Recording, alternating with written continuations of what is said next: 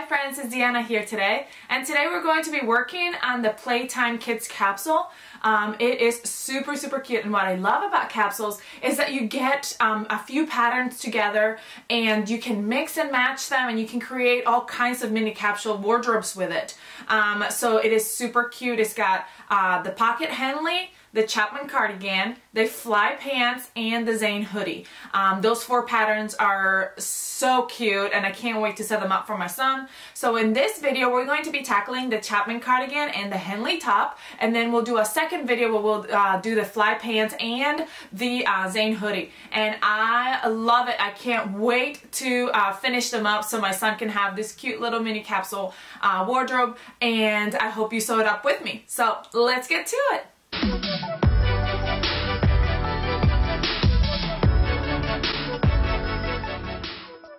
Alright, so we're going to start with the Chapman cardigan and I've already cut my um, pattern out. Um, it's super cute. I'm using this, um, this is like a um, sweater knit fabric that's got like, you know, the white stripes have like a French terry loopy part on the back somewhat. So it's going to be super cozy and I love that it's kind of a neutral color because you can wear it with so much. Um, I wanted to make something uh, for this cardigan. I wanted to choose something that was kind of neutral because I want this capsule, the, the point of the capsule, which is really cool, is to be able to like mix and match and all those things. So I think a, a um, very neutral cardigan, it comes in super, super handy um, at all times just to grab and not have to be like, is this gonna match? Just like when I made, um, I just made this one too. This was another capsule and this is the fairy jacket. I thought the gray, the dark gray of the fairy jacket would go with anything. So that's why I picked that color. So I thought that was really super cute. Um, so I'm gonna go ahead and grab, this is my back and it's face up on my board. I'm gonna grab my front and I'm gonna put it face down on it. You want them, and we're gonna match up those uh, shoulder seams. You wanna make sure that your arm size, see how it's rounded, is on the right side. If you see this side right here straight, that's the front side. So you don't wanna, you don't wanna reverse it. Um, sometimes if you're kind of sewing in a hurry and you kind of don't even look and you just put it right here, then you end up sewing it backwards. I've done that before. So that's why I'm kind of making sure this time. So I'm going to go ahead and sew those shoulders together. I'm going to be using my serger. I'm just going to go do it real quickly because that's just really quickly and I would have probably already done it if I wouldn't have been talking so much. But um, if you don't have a serger, that's all right. You can use any kind of stretch stitch on your sewing machine and it will just work out just fine. Zigzag stitch, lightning bolt stitch, really you want to go to your sewing machine and check out what is your favorite kind of stretch stitch by checking out your using the fabric that you're going to be using for your project and seeing what kind of stretch you get when you use the different kind of stitches. So let me do that and then we'll move on. My shoulders have been sewn. We're going to go ahead and move on to our neckband. What I like to do with my neckband is I like to grab it and go ahead with my iron and steam it wrong sides together so it's kind of prepped a little bit. Now this fabric is actually pretty easy when it comes to matching up those raw uh, edges but some fabrics are really kind of stubborn so some fabrics you really it's really uh, imperative that you do this step that way when you're trying to attach it to your uh, to your cardigan it's it goes a little bit smoother it doesn't try to like fold under on you and do all these things that you're like, oh my goodness, fighting with it as you're trying to sew it up. So one thing is I am, I measured my son and I went with a larger size because I want this to be a, a little bit of an oversized uh, cardigan and I wanted to fit him for a little while. Um, so I'm really hoping that it will be perfect for what I want it for. So, okay, so now I grabbed my band and now that it's folded wrong sides together, I'm gonna fold it right down the middle and mark my middle point. That's gonna be my back point. I like to do like a little notch just as big as my seam allowance. Um, I don't want it to be huge. I want to eat it when I sew it on but I want to have it there because that way if I'm sewing it and my pin moves or anything I can still see where I'm supposed to be at. I'm going to grab my shoulders and match them together and I'm going to go to the back of my cardigan and mark it again. Same thing. Then I'm going to open up and where I marked that half, I'm gonna go ahead and put my cardigan where I match my half, my cardigan band, sorry. And I'm gonna match that up. Then I'm gonna go down one side of the front and I'm going to match that raw edge. Now, as you can see, it's a little bit shorter, so you're gonna have to stretch a little bit. So what I like to do is I like to go ahead and pin the bottom first. So it's nice and um, even over here at the bottom. And then I kind of pull it a little bit to stretch out my band so that it's straight and kind of hold it where I wanna go next. So that way I can pin it or clip it. And then I do the same thing again, like so. Here is my another piece. And then I go back and do smaller sections. I want to even it out first, the whole section. Um, if you want to, you can go ahead, you could go ahead and quarter your band. I only halved it. So if you wanted to fold it again and quarter it and then um, quarter your cardigan side so you could see where it's at uh, and that would be helpful, you could do that. I feel like I'm gonna sneeze. So I'm gonna finish pinning and then I'm gonna do the same thing for the other side and then we'll go over to my serger and just sew that whole side right up. You're doing right sides together with the matching those raw edges.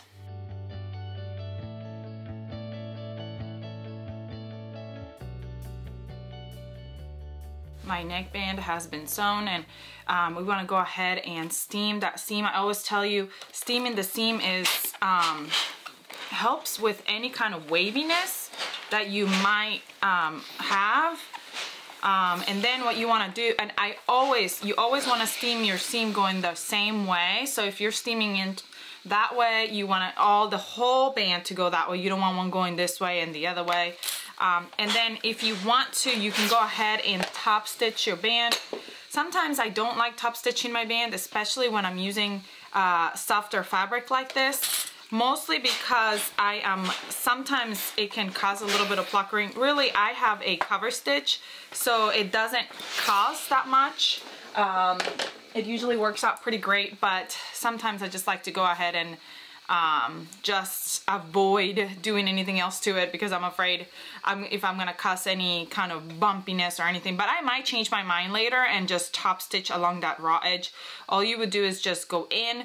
Um, if you don't have a cover stitch or a, you can use a double needle on your sewing machine or you can use a stretch stitch all the way around that little edge right there tacking that um, seam down.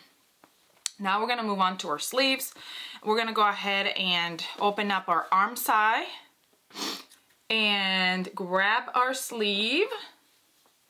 Okay, we're gonna fold it, our sleeve, floral sleeve down the middle. And I'm gonna mark that top, tippity tip top. And I just did the same thing I did earlier, just grab that notch.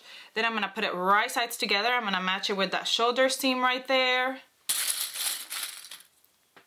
And once I do that, I like to go all the way at the bottom first and match that and then even out the rest. Raw edges together, right sides together, and you kind of even it out and pin. And then I'm gonna go over and do the same on the other side and then just go with my sewing machine or serger and sew that whole raw edge and then we'll do the same thing for the other sleeve as well.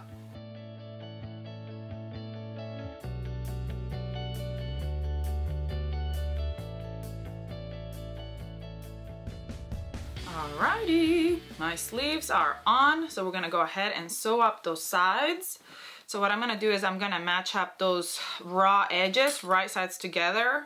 Um, we're gonna match up right here at the armpit first, match up those seams. And then, look at that. Look at how cool that looks right there. Clink, clink, clink, clink. We'll see if it looks that cool on the other side. I don't know. I never know how the stripes are gonna match up. I tried, um, but I never know. So I'm going down the side. This is my side.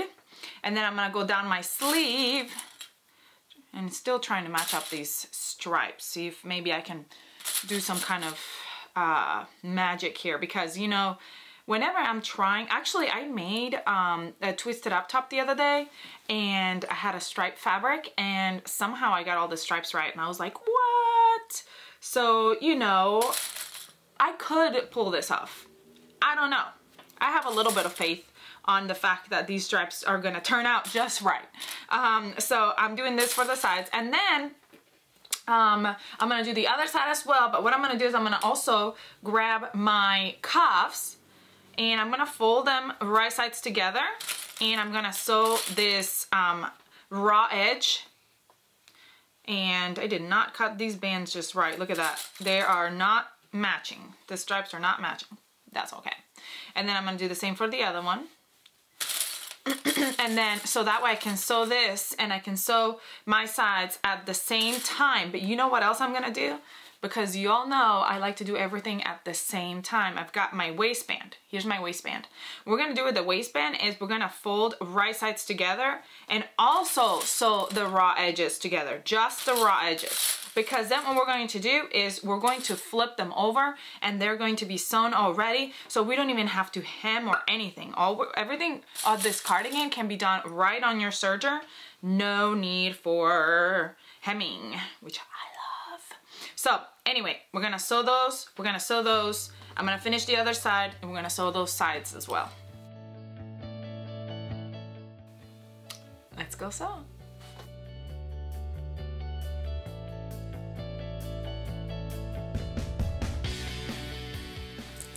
Sides are sewn together, cuffs are sewn together, and band is sewn together. So I'm gonna go ahead and turn my sweater around. My stripes did pretty good. Yay! On that side at least, we'll see the other side. Yay! Wow, good job. Eh, close. It looks so good on the other side, but it's not that great right here. Let's see. Well, somewhat. It matched, that one matched.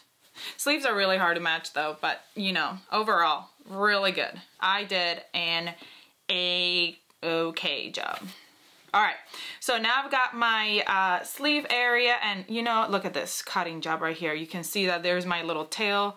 I did not cut that very well. Just gonna trim it. You know, this fabric is so soft and yummy, but it like moves because it's got these little grooves. So I have to be careful when, I, when I'm cutting it. And you know that sometimes I'm not the most careful, but I try. All right, so we're gonna do cuff. So my cuff is already sewn at the side. Now we're just gonna fold it wrong sides together. And first I'm gonna match up that side seam right here and pin. So that's my half. That's I'm gonna match that to that. And then I'm gonna go and match all the raw edges together and I'm gonna go from this side to the front and that's gonna be my quarter. That's funny, there's already like a little rip right there of the fabric, like a little bump of the fabric, but I just marked it. And then I'm gonna go ahead and grab my cuff and fit it right into my sleeve, right sides together. I'm gonna match up those edges. Um, you know what? I don't think I marked the sleeve. So I'm just gonna mark it real quick right here. So mark where that half is so that I can match up that half with this half right here. And then we're gonna do the same for the other cuff. Then when you're sewing, you're just gonna stretch out that cuff to match that um, sleeve. But then I'm gonna show you what we're gonna do with the um, with the waistband. That way we can go ahead and do that one too when we're sewing at the same time. I always ask you this, but I wanna know, um, do you sew everything at once like I do or do you do like take it one at a time? So I like to kind of trim this down a little bit. Some people like to do is they pull those threads, the thread, not the loopers, but the thread. And then uh, when you pull it, it kind of tightens that right there so that it, um, it kind of goes uh, tight so it's not gonna come unraveled or you can tie it or you can um, sew over it what sometimes I do like with my neckbands I put it right on top of my uh, uh, uh, edge and then zigzag stitch on top of that seam. You can do that um, so it doesn't turn out so bulky right here but we're gonna flip it right side out and pull out that corner. That's gonna be the corner of my hood of my cardigan sorry.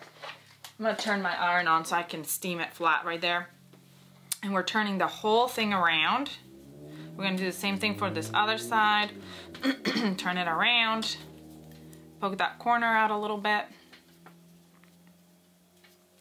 And then we're gonna go ahead and steam it wrong sides together. And this is gonna become your band. Like I said, there's not gonna be any hemming because as you see, it's flat now. So that's gonna match up with your, with your um, band, your bodice band. Bands, bands, bands. Lots of bands. But I like bands. Do you like bands? Okay, so now what I'm gonna do is I'm gonna grab the bottom of my cardigan and spread it out like so. I'm gonna find my half. I always like to find my half. And I'm gonna do the same thing for my band. Now if you wanna quarter your band, you can quarter it, however you wanna do it so that um, it's easier for you to find it.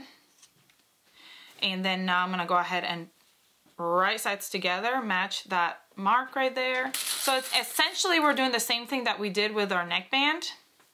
We're gonna go to one side. Again, I'm just gonna go all the way to the end and pin that or clip. And then I'm gonna kind of pull it, make sure it's all even and pin a couple more times. I'm gonna do that for the other side as well. And then we're gonna go over to our serger and sew our armbands and our uh, waistband together and we'll be done with this uh, pattern. And we'll move on to our um, Henley top, which I absolutely love.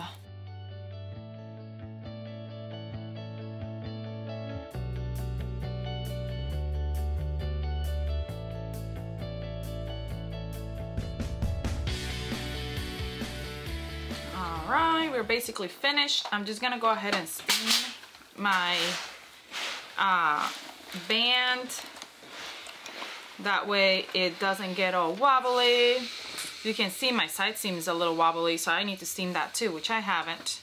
But I will because it really does make a big difference to steam everything up. So when you're done, just go ahead and steam it.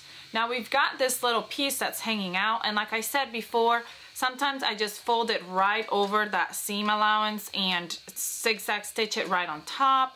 Sometimes I'll grab one of these thick needles and first I feed it through partly and then I um, go ahead and thread it with my uh, with my uh, serger tail, couldn't think of the word, whatever that is. And then I uh, feed it right through, tuck it in all the way, you know, you can top stitch it, whatever you want to do, just to hide that tail. And it is gone.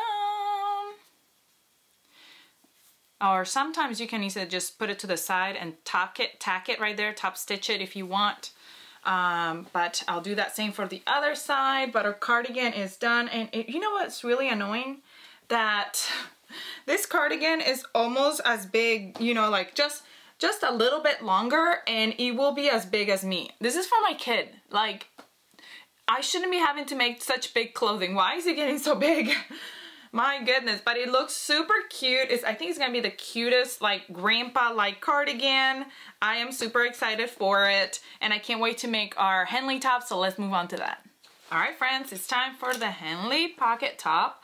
We're gonna start with our bodice. Uh, this is my front bodice and I'm gonna fold it in half and I'm going to steam it right here at the half because I want to make that crease, that memory crease right here. I guess you don't have to steam it all the way down, just the top area. Because when I open it, I'll have that crease right there. Did you love this uh, alligator fabric? This is um, cotton lycra, just in case you were wondering.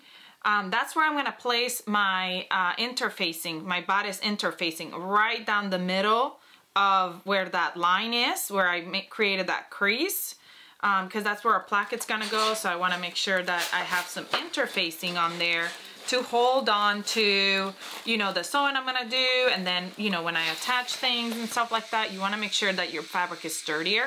So there that is.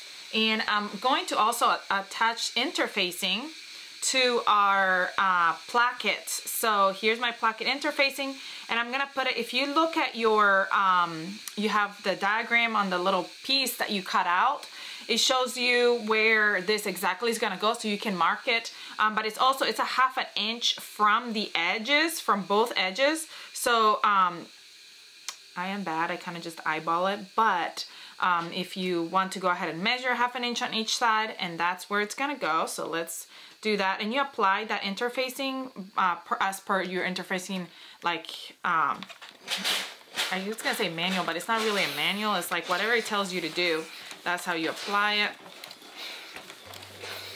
Uh, I'm just doing steam. My iron was not hot, so it like spilled on me. So let, let it get hot. so now with the placket, and I'm gonna do this for both, I'm gonna fold in those two edges, the two half inch edges. All right, so those two half inch, ooh, it's hot. It, this iron gets so hot. Two half an inch edges, and then I'm gonna go ahead and fold it in half. I'm just gonna put some pins in here to put it aside and have that placket um, ready. I'm gonna do the same for the other one. But then um, we're gonna go over to our sewing machine and sew a straight stitch rectangle all the way around this uh, interfacing. So I'm going down, over, and back up. So let's go ahead and do that.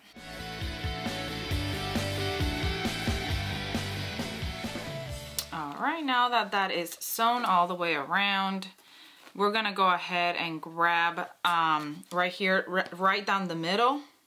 If you wanna mark your middle again, you can go ahead and mark it with, you know, like a pen or something so you know where you're clipping or whatever. We're gonna go ahead and cut right down that middle. Let me make sure. I'm gonna steam it again. I just wanna make sure I'm cutting right down the middle. And you're gonna measure, I forgot to tell you this. Whew. You're gonna measure uh, half an inch from the bottom, half an inch from the bottom. And I'm using this water soluble pen to mark it. And I'm going to um, clip, um, cut all the way to that mark. Stop at that mark. And then I'm gonna go to the sides. I'm gonna go to one diagonally to that corner, but don't clip the thread. So stop right before it ends and then to the other side. You gotta be really careful because these are so sharp. Any sudden movement and you'll just go and it'll eat everything. All right, so now what we're going to do is we're going to grab our placket. We're gonna, this is how it's looking, okay? We're gonna turn our bodice and you can start with whatever placket you wanna start. I'm just gonna start with this one. You're gonna line it up at the top you know, for this part, it really is easier to use pins because we're going to be sewing this together. Um, so pins a little bit easier sometimes when you are sewing something. And then we're going to go over to our sewing machine. So we're putting it right sides together, the placket with the one side. We're gonna do the same for the other side. So I'm just showing you this side right now. And then we're going to go over to our sewing machine and we're going to sew down that same line straight down to that edge, like where we've finished. We're not gonna turn, we're just gonna go down. Now make sure that you backstitch at the beginning and at the end, and that's how we're gonna sew that on. So I'm gonna go over to my sewing machine, sew down, stop at that edge, backstitch a little bit, and then that's what you're doing right now. Alrighty, it is sewn. I'm gonna clip some of these threads. Again, I backstitched so you, um, can be safe that they are not to come unraveled.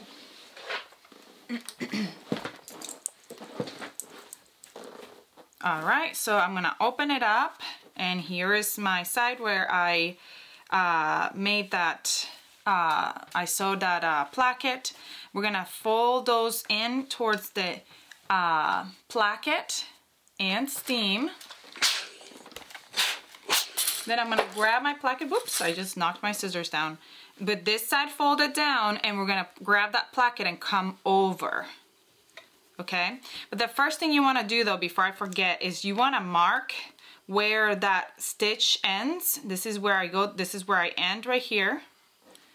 And I, I want to be careful that it's not going through because this water soluble pen um, I, I'm not I haven't tested it on this fabric and sometimes they're not the best so I'm like oh gosh um, I don't want to mark my, my fabric with purple pen. But now I see it where it is at, so I keep that in mind because when I go to top stitch, that's where I'm going to stop. I'm gonna go ahead and pin my placket. I'm gonna put that last pin right at that mark so I know to stop right before that pin. And I'm gonna turn it around and I'm gonna top stitch that raw, that, not that raw edge, that folded edge right here. I'm gonna go ahead and top stitch that down so that um, I'm attaching my placket. And I'm gonna stop right before that pin, right at the edge. Okay, so I'm gonna go all the way down, top stitching, and stop right at that line. Alrighty, so there's my placket and this is what it looks like back here. There's a piece that is unsewn, it's just hanging there. There's a triangle piece and then we're gonna go ahead and do the same thing for the other placket. Um, the exact same thing we just did. We're gonna go ahead and uh, pin it from the top, raw edges, right sides together, and then sew over that top line right here, so over that line, stop right there, then turn it around, flip it, steam it, and top stitch it again. So I'm gonna go ahead and do that, and then we'll come back to uh, move on to the next step. All right, now both of my plackets are on. Now we're gonna go ahead and bring down that one side that we can bring down that right side or left side. And I've got that little triangle hanging out right there. So what I'm gonna do is I'm gonna grab that triangle and while I'm grabbing that triangle, I'm gonna bring this other one right on top. So now they're right on top of each other. The two plackets are on top of each other and the triangle is right behind them. So let's put them right on top of each other like so. And here's the triangle. Now, I, when I folded my placket, I didn't quite fold it right, so I've got a little bit of extra, so that's why you see a little bit of extra, but yours is probably going to line up straight. Now, if yours is just like mine and it's not lining up straight, make sure that you line it up so that your uh, uh, triangle is right where it's supposed to be, right in between the two plackets and you have not puckering on the sides. What you can do is, what we're gonna do now is gonna sew that down, tack that down right there, but what you can do is you can go ahead and, and clip it or pin it. So like it's already quote unquote sewn and then turn it and make sure that your placket is going to look correctly. So do you see what I did? I'm not fully over to the side yet, so I need to bring it together a little bit more, see how far it is. Just make sure that triangle is still out, and we're bringing it over, put it on top of each other, and pin it, pin it at the top as well, and then turn it. So really, you just wanna go ahead and play with it and look at it and see when it's gonna, how it's gonna turn out when you turn it to the other side. See that? Now it looks a whole lot better, like it matches. We're gonna top stitch. Eventually we're gonna top stitch right here, so that will be tacked down. But you wanna make sure that it all aligns. I know it's kind of bumpy right here, but that's because my clips are right there. But um, so that that's how it's gonna go. So you wanna make sure that your plackets are even back here in the back and that there's no pluckers on the fabric in the back when you're gonna sew. Um, so now, I'm just gonna hold my fabric just like this. I'm gonna go ahead and, I don't know why I removed those pins because they need to be there. I'm gonna go over to my sewing machine and I'm gonna sew right on top. See where that line is where I already sewed? I'm just gonna sew back and forth right there to tack that down first. And then I'll go over to my serger after I tack that down and I'm just gonna serge this bottom so finish that raw edge. If you don't have a serger, you can just do a zigzag stitch and finish that raw edge and then trim the excess. Um, so I'm going to go ahead and do that. All right, now that my back has been sewn together and it's all put together, we're gonna make a little square right here on the bodice. And all I'm doing is I'm just going right along that edge and my needle down and going up, over, and, uh, no, down, over, up, over.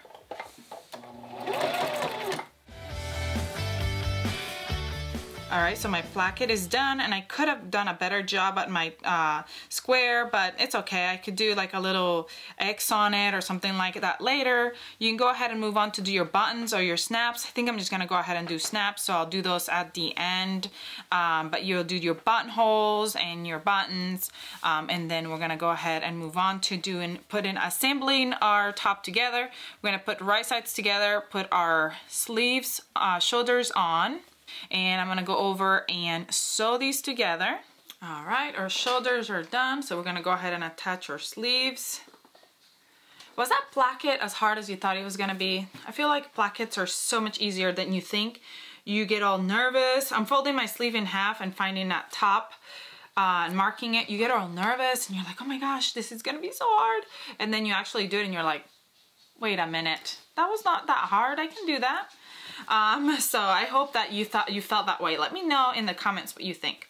So I'm gonna go ahead and open up that sleeve and where I marked that half, I'm gonna put that right at my shoulder seam and pin and go all the way down to one side, just like we did with our Chapman cardigan um, over here and then even out those raw edges and then do the same for the other sleeve and then go over and sew it on.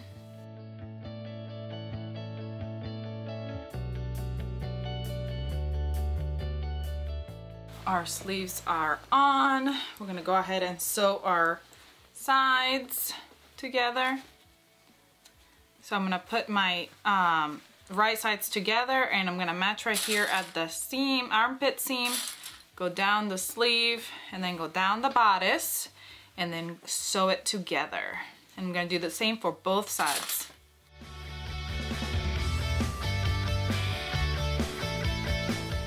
Time for our neckband. We're gonna grab it, I'm gonna fold it right side, wrong sides together, I'm sorry, and steam.